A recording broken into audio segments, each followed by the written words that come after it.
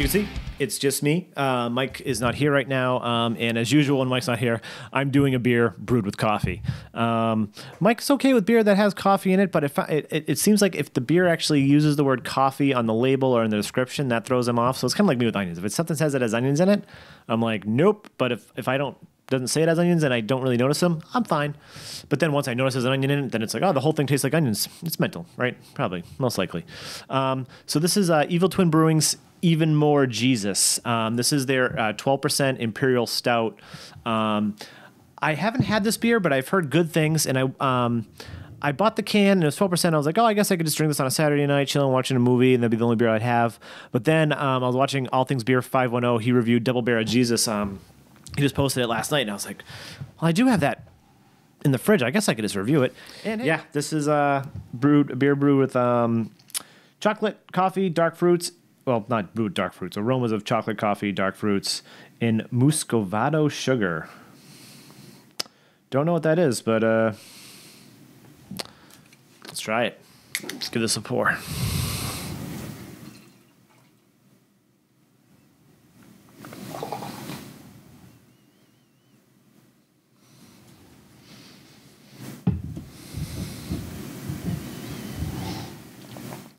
That pours very dark and about almost almost a finger of dark khaki head. Let's get a nose. Mm, getting a lot of definitely a lot of roasted malts. Coffee, lots of coffee. Again, a little bit of sweetness, a little bit of bitterness. Like the sweetness is probably like a little bit of the chocolate sweetness, but like I'm getting more. I'm getting more of the roasted malts, more of the coffee on the nose.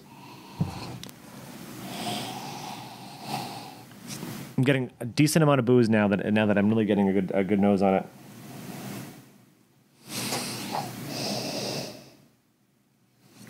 Yeah, coffee, booze, a little bit of bitterness, chocolate. Let's dig in. Cheers.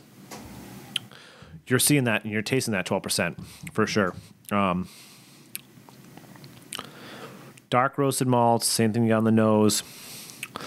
Um, a good amount of a good amount of the coffee is like given like this like chocolatey bitterness, so it's like a sweet, sweet coffee um, feel, but you're still getting a lot, a lot of booze.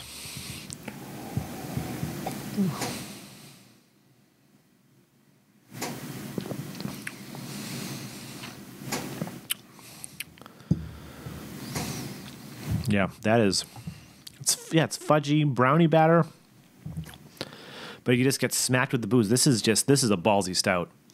Uh, man, twelve percent. I'm wondering if I shouldn't have. Uh, if I shouldn't have actually popped this this afternoon, uh, uh, Sunday afternoon, twelve percent beer. I don't know if that was the smartest move on my part. I'll be drinking this for most of the afternoon though. By the magic of video editing, I have sat here and let this warm up a little bit, and uh, mouthfeel is a lot smoother, a little thicker now that it's, that it's warmed up. Um, I'm getting more fudgy, brownie, um, sweeter um, flavors.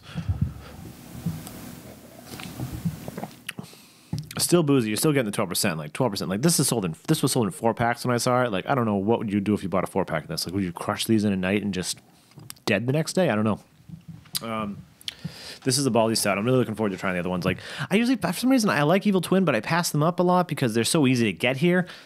And I'm like, oh, they'll be here next week, and it's it's really weird. I don't know. Um, definitely try it if you're into stouts. You're into stouts with coffee. Um, it's not barrel aged, but it's still an imperial stout, and it's still badass. It's boozy, sweet. It's delicious. Everything melts together. You're gonna you're gonna get a lot of alcohol. If you're not you're not a big person of the alcohol, like stay away. But don't stay away. Just try. So yeah, I would definitely recommend this. Um, please like, subscribe, comment. Um, let us know what you think of this. Um, yeah, Evil Twin, even more Jesus, 12% Imperial Stout. Tastes delicious. I'm Sean. This is Nerdsense Drinks. Cheers.